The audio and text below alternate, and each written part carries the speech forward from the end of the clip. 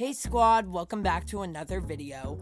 And as you may know, the Festival trailer came out today for Animal Crossing New Horizons. And I just want to share my thoughts about this because this is super exciting. And we'll also be talking about the new villagers coming our way in Animal Crossing New Horizons very soon. But before I say anything else, let's go check out the trailer.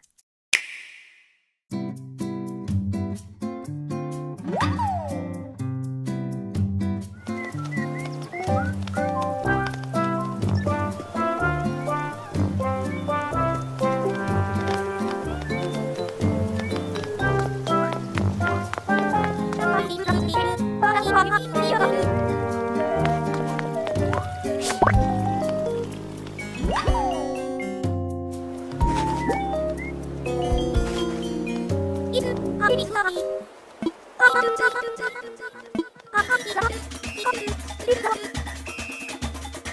beep, beep, beep.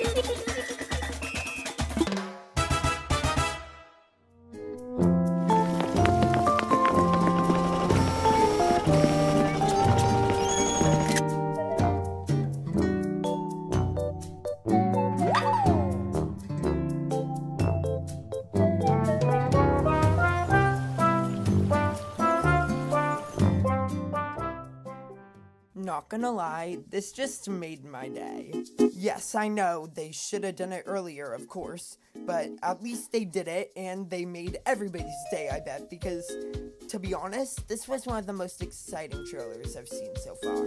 I've never done the festival event before, so this will be super exciting to do and see. So basically, the point of the festival is to catch as much feathers as you can and give them to Pave, the dancing peacock. I assume giving him the feathers will give us like some furniture, some new DIYs, and some cool new dancing reactions. This is beyond my favorite part of it. I assume either the villagers or Pave will give you these reactions. And at the end of the trailer, we got the Mario themed update coming soon in March. So for all the people who wanted Brewster for the next update, I'm sorry. So now let's talk about Animal Crossing's Twitter post about possible new villagers.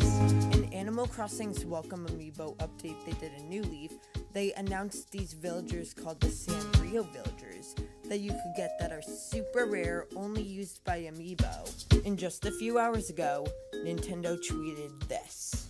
The Animal Crossing Sanrio collaboration pack comes to the US for the first time on March 26th, exclusively at Target. You'll be able to use these vibrantly designed amiibo cards in a compatible game. And this is the picture they put with it. I'm gonna be honest, this is super exciting to see, super relieving to see, knowing that the festival is more than just a one day event. So like I'm glad that like Nintendo's actually putting way more into the series than just small holidays. And not only will you get the villager, but you can also get their themed furniture to put around the island and in your own home.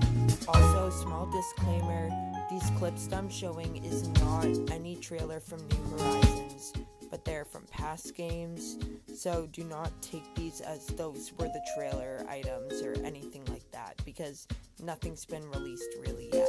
Overall, my predictions are that the festival will be a fun event, but not too big to make it a huge update to be super exciting for ongoing Animal Crossing fans. But for the Mario update, I suspect it will be early um, March and probably way before the Sanrio um, amiibos come out to Target. So I'm really hoping that the Mario um, theme will be super cool. It's totally fun. Maybe Mario will come to the island. That would be super fun. And maybe some Mario themed villagers because I wouldn't mind that. Anyways, I'm gonna try to stay positive and just be as excited as I can for this new update. And comment down below what you guys think of the update. Are you excited for it? Are you a little nervous? What's your opinions on all that's going on right now? I hope that you have an amazing day. Remember to like and subscribe, and I'll see you guys next time. Bye.